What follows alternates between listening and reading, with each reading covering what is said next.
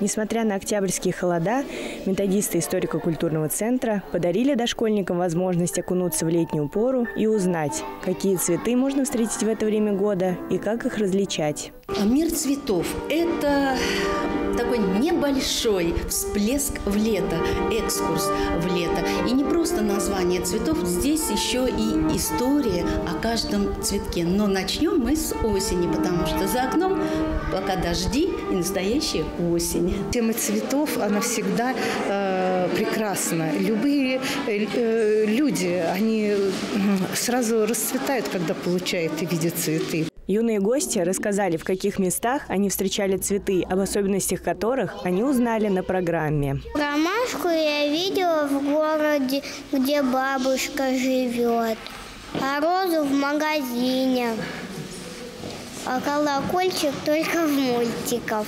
Как писал Максим Горький, дети – цветы жизни, и программа стала тому напоминанием. Каждый юный гость предстал в образе бутона и порадовал зрителей песней и танцем, которые им помогли выучить воспитатели детского сада и методисты центра.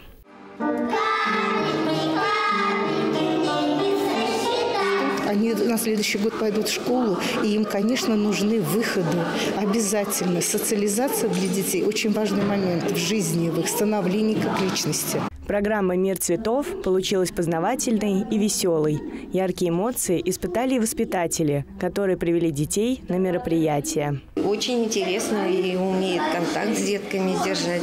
Здорово. И деткам было интересно. И нам же интересно было. Кстати, мы тоже сидели и подтанцовывали.